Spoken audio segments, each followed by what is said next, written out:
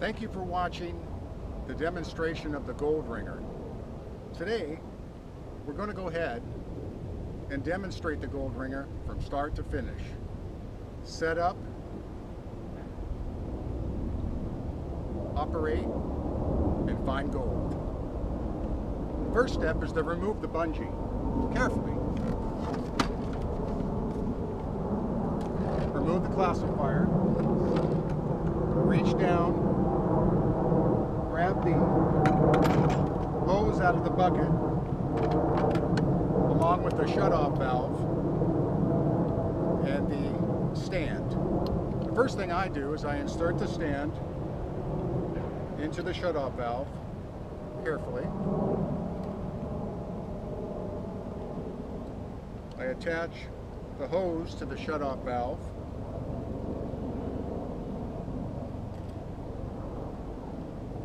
Sure it's tight. And then go ahead and hook everything to the gold wringer. Remove the cap. I would recommend putting this cap into a safe place. You'll want it later. Go ahead and attach the hose to the gold wringer. Go ahead and shut the valve off for now. The next step would be reinsert the black bucket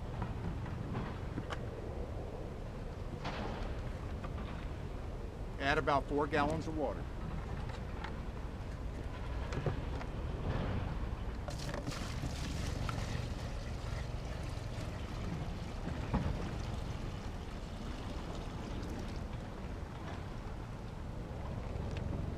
At this point, water is going down into the pump area.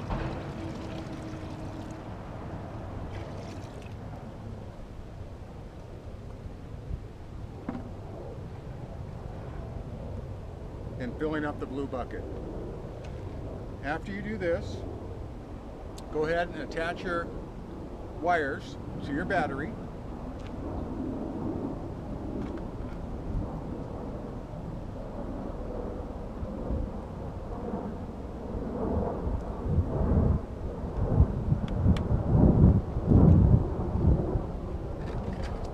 Replace your classifier on top of the gold wringer.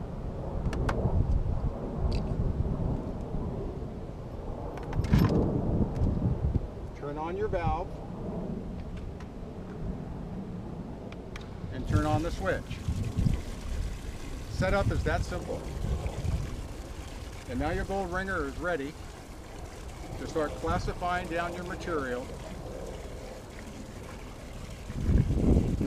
giving you the best chance to find some gold. Next step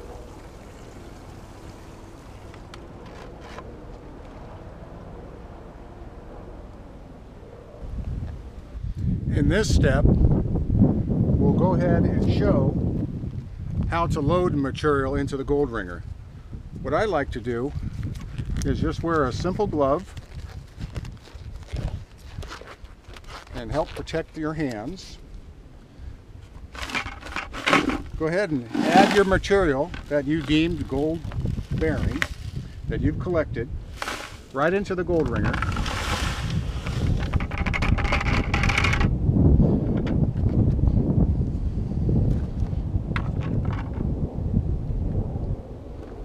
And I like to do it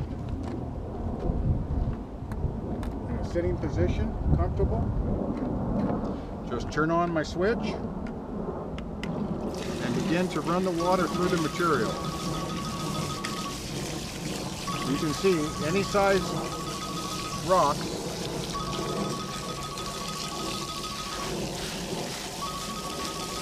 will run the material right over it. Just continue to run the material around any large rocks removed. Just make sure they're cleaned off.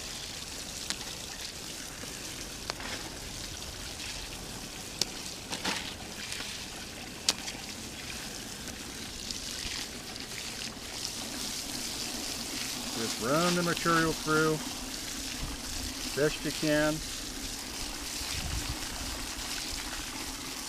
As you can see, it just washes it all away. And earlier, I placed a couple of small nuggets in here to show that in a gold wringer, you don't need to worry about losing gold. It can't go anyplace.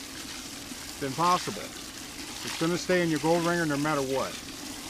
So after you run the material through and you deem it clean, go ahead and shut the gold wringer off.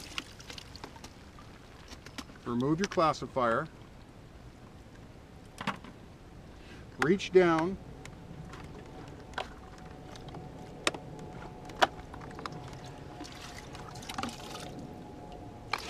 Drain your water, it's precious, especially out in the desert. That's the nice thing about the gold wringer.